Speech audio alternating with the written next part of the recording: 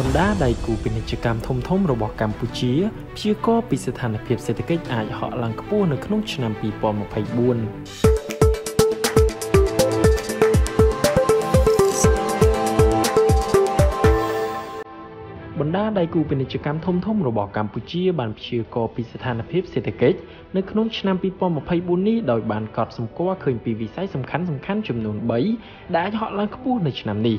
ក្នុងនោះរួមមានវិស័យទេសចរកាត់ដេរនិងវិស័យកសិកម្មដោយរំពឹងថាអាចទទួលបានស្ថានភាពល្អប្រសើរជួយឲ្យសេដ្ឋកិច្ចកម្ពុជាមានកំណើនប្រមាណ6.6%ចាប់ពីដើមឆ្នាំ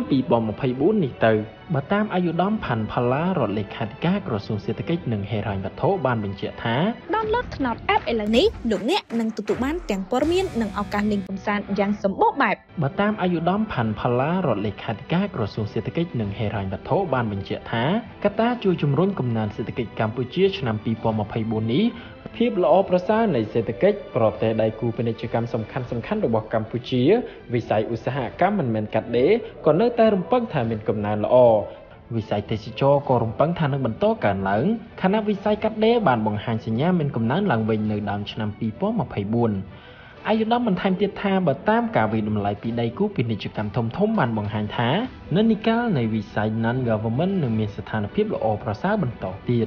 ហើយសង្ឃឹមថាវិស័យទេសចរនឹងបន្តកើនឡើងជាងឆ្នាំ2023រីឯវិស័យកាត់ដេរកំពុងងើបឡើងវិញជាបណ្ដាបណ្ដាដែរជាមួយនឹងគ្នានេះបើតាមការសាកសួរអ្នកពាក់ព័ន្ធនិងអ្នកបញ្ជាទិញតាមបណ្ដារោងចក្រគឺបានឲ្យដឹងថា